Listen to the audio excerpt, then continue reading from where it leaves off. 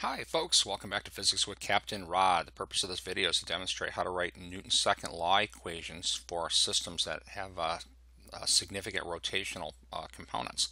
So what we're looking at here, we've got a system here, we've got a mass right here, mass A, a mass B, uh, connected to this pulley system. Again, this pulley we're going to say has a significant mass here, which I'm going to write off to the left, mass P. And what we're going to do is try to draw free body diagrams of the different parts of the system and write equations that would allow us to find the acceleration of the system, this tension that I have labeled uh, T1 and this tension that I have labeled T2. So again, we're going to imagine the system starts from rest and is released. Um, if mass B is bigger than mass A, then this mass should accelerate down, this mass should accelerate up, and the pulley should have a rotational acceleration. So I'm going to go ahead and start this with mass A here. And, you know, first thing I'm going to do is clone it. Right, and then I'm going to use this to draw my free body. So I get this put somewhere else here, move this up here. So I'm going to go ahead and start putting force vectors on that mass.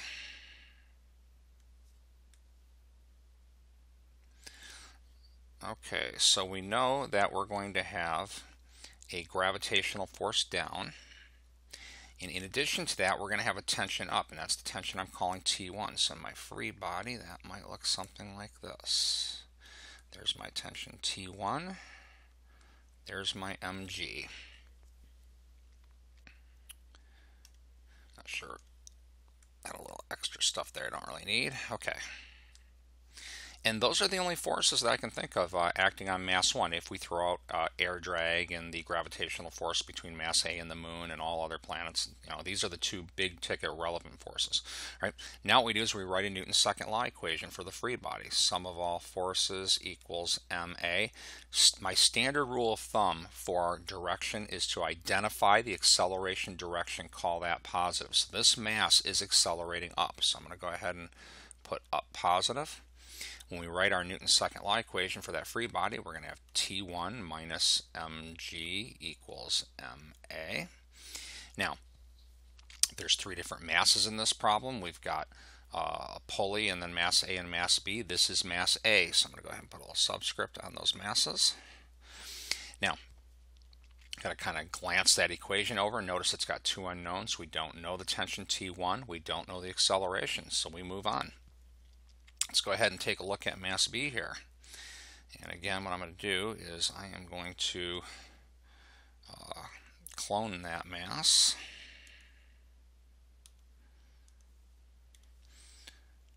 All right, move that off to the side. Maybe right here is good enough. I'm going to go ahead and draw a free body for it. So for mass B, the gravitational force is down.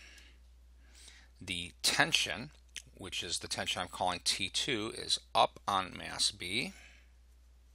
So we've got tension T2, tension, oops, and the weight, mass B times G, and that's pretty well it. There's no other forces acting on mass B. I'm going to go ahead and write a Newton's second law equation for that mass.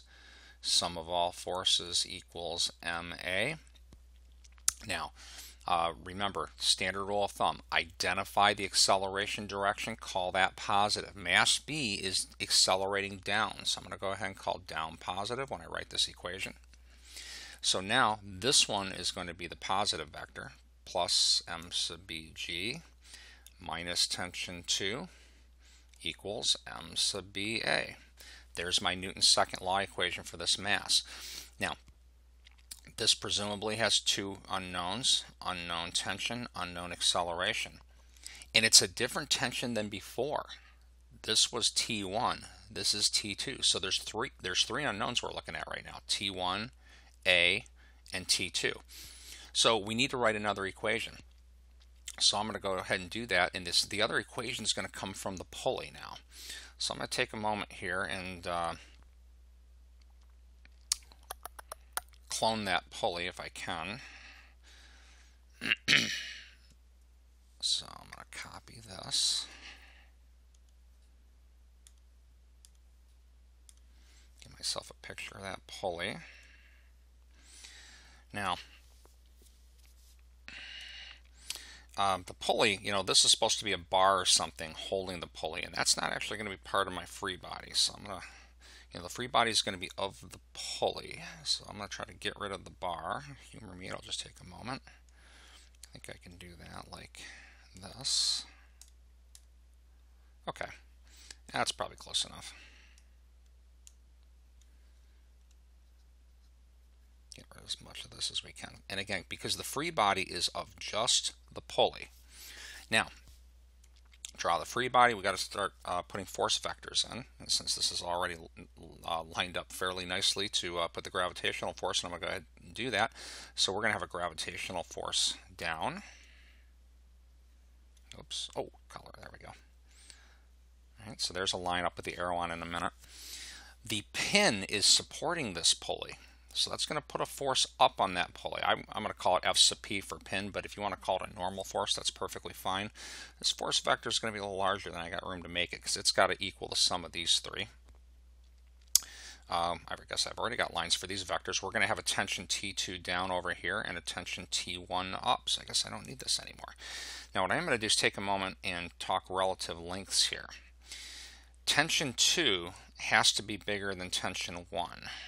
So I'm going to shorten that up a little bit. I know this because the acceleration is clockwise.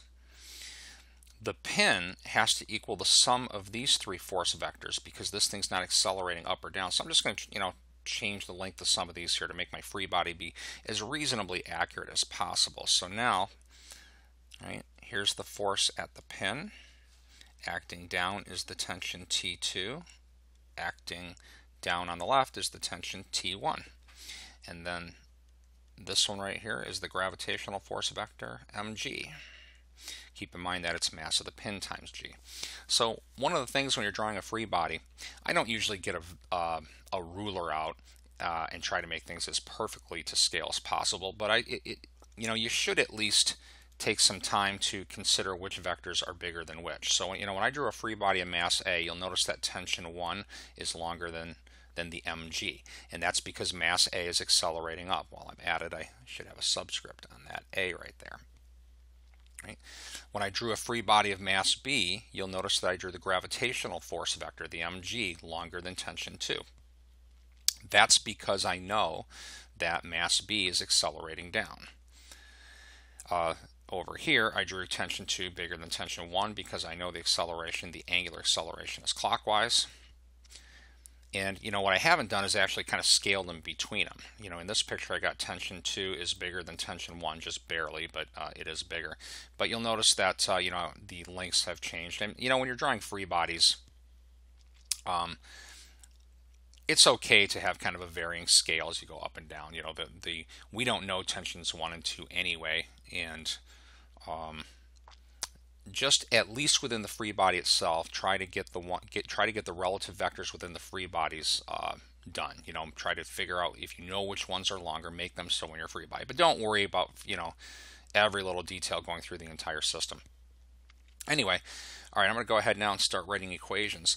So, you know, if we talk about the kinetic parts of the free bodies, mass A is accelerating up, mass B is accelerating down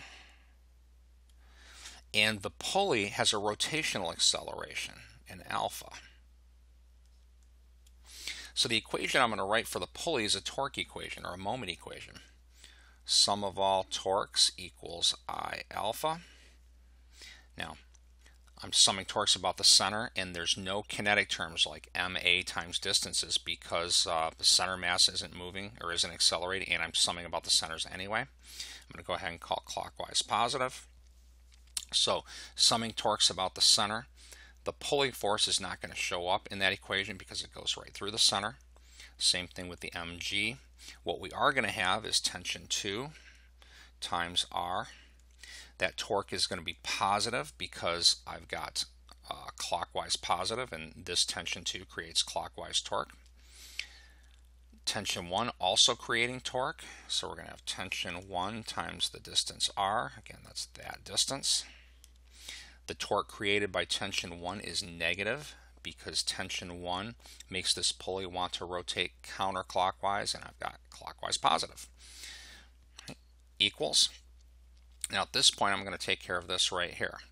The I is the moment of inertia of this disk or disk shaped object. So that's going to be a 1 half mass of the pulley times radius squared times alpha, the angular acceleration of the pulley.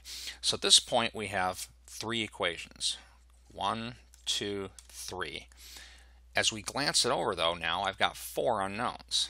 Tension 1, acceleration, tension 2, and the angular acceleration. So at this point it's not quite solvable yet. But there's another nice short equation we can write if we think about the um, kinematics of the problem. If I look over here at this picture, the acceleration of mass b is down. Right, the acceleration of mass b is the same as the acceleration of any point along that string up to that point right there. And that acceleration can be written r times the angular acceleration, alpha. And there's our fourth equation right here. So this system can in theory be solved. I'm not going to take the time to do it in the video, but I mean here's what we you could or would do. You can solve that for alpha, it's equal to a over r. So in this spot right there, you'd be putting a over r. Then you could um, you know, maybe solve this equation for T1. Sub that here. Solve this equation for T2. Sub that here you'll get a system of equations and the only unknown, I'm sorry, you'll get a single equation and the only unknown will be the acceleration uh, of the system. And then once you have A, you can uh, go back over here to get the angular acceleration. So uh, the point of this video was how to write the equations. You know, I'll save the algebra for another time. Hope this video helps. Have a great day.